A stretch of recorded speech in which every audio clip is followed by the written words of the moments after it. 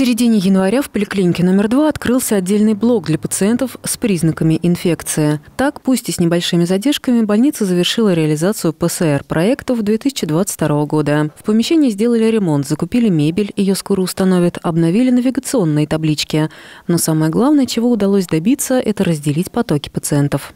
Этот ремонт про организацию оказания помощи и разделение потоком, потоков больных с э, инфекционными заболеваниями, то есть потенциально заразными, и э, больные здоровые.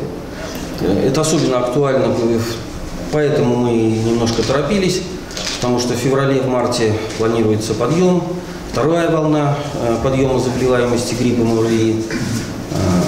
И разделение потоков, разделить этих пациентов было нужно сделать как можно быстрее. В среднем за смену в поликлинику номер два обращаются около 700 человек. Это и больные ОРВИ, и те, кто пришел на плановый прием к узким специалистам. И раньше они пересекались, начиная с гардероба.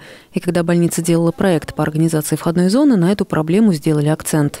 В эпоху э, пандемии э, коронавирусной э, инфекции очень важно разделение потоков пациентов. И когда мы столкнулись с тем, что большое количество пациентов одновременно может прийти в поликлинику, особенно в утренние часы, мы понимали, что, наверное, это самое важное, чтобы обеспечить пациентам минимальное общение и минимальную возможность заражения инфекционными э, заболеваниями э, в поликлинике.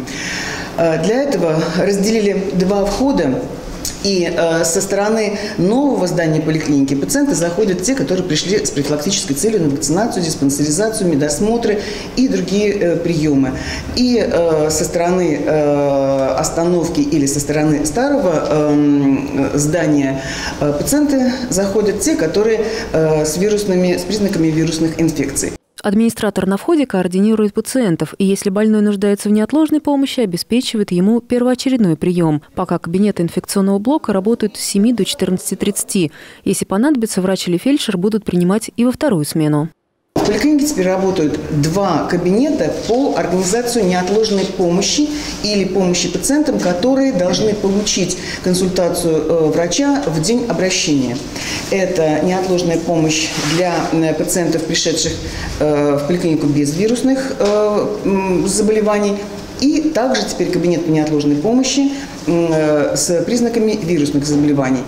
Но могу сказать, что Первый этап нашего проекта был закончен в конце сентября, и мы э, увидели результат от работы кабинета по неотложной помощи э, в новом крыле здания, когда пациенты, обратившиеся э, и необходим, нуждающиеся в получении помощи в день обращения, не нарушают очереди и времени пациентов, пришедших на плановый прием по записи. Пока в инфекционный блок приходят от 30 до 60 человек. В зависимости от их количества могут открыть сразу несколько кабинетов. На приеме врач или фельдшер дает им направление к врачу. Считается, что через несколько дней больной уже не заразен. Хотя на повторный прием пациент э, в неурочное время тоже может обратиться сюда.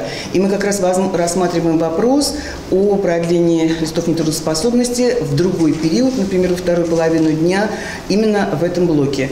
Этот период, этот, эта работа еще вот в нашей стадии э, тестирования. Э, мы смотрим нагрузку, мы смотрим распределение и пациентов, и нагрузку врачей. Этот проект тиражирует и на другие поликлиники города. В этом году запланировано сделать такой же инфекционный блок в первой поликлинике. Кроме того, благодаря сотрудничеству Федерального медико-биологического агентства и госкорпорации «Росатом» и помощи РФЯЦ в клиническая больница номер 50 собирается реализовать 7 ПСР-проектов. Они будут касаться и организации работы, и э, присутственных зон, холлов, э, э, в том числе и санузлов во всех поликлиниках города. Еще раз повторюсь, мы надеемся, что в следующем году, благодаря помощи наших э, друзей из ядерного центра, нам удастся реализовать все проекты. Екатерина Опенова, Константин Островский, Сергей Рябов, Служба новостей Саров 24.